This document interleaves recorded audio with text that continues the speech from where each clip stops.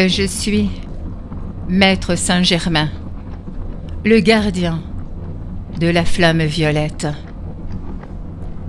Je vous invite à travailler avec la flamme violette de la manière qui vous convient.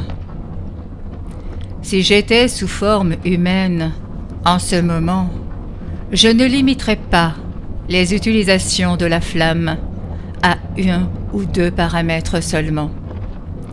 Vous pouvez utiliser votre relation à cette énergie pour manifester, pour guérir.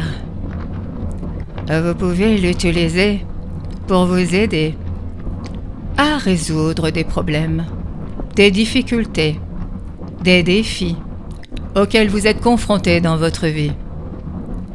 Vous pouvez l'utiliser pour purifier l'énergie d'une pièce et bien sûr pour purifier votre champ énergétique.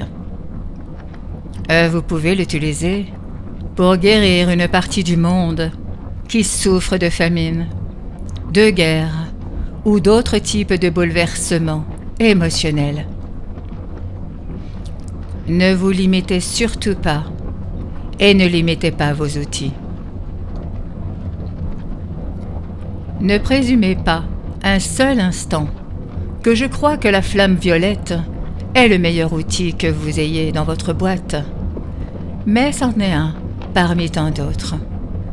Je préférerais vous voir tous l'utiliser de plus de façons que je ne le fais actuellement.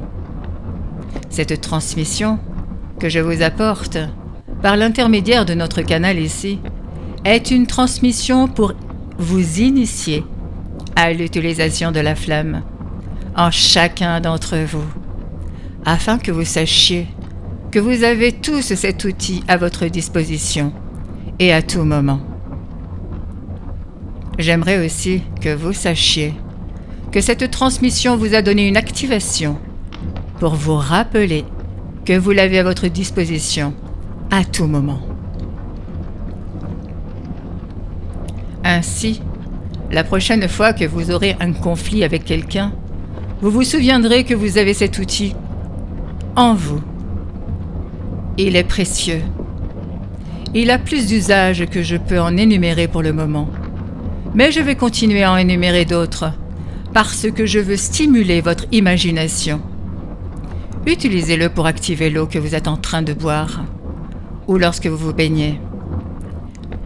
Utilisez-le pour travailler avec les grilles énergétiques de la Terre-Mère.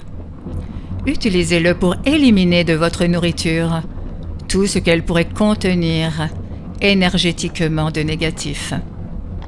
Utilisez-le en méditation, en guérison et en manifestation. Visualisez la flamme violette lorsque vous souhaitez accéder à un lieu de paix plus grand ou lorsque vous souhaitez vous ouvrir à la canalisation. Pour vous ancrer également, en l'imaginant sortir de la plante de vos pieds, pour créer une ouverture au sommet de votre tête, afin de pouvoir recevoir davantage.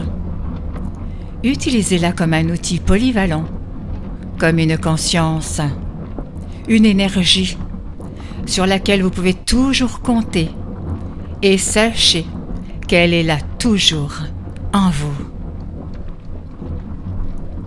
Vous créez votre réalité, vous le savez maintenant.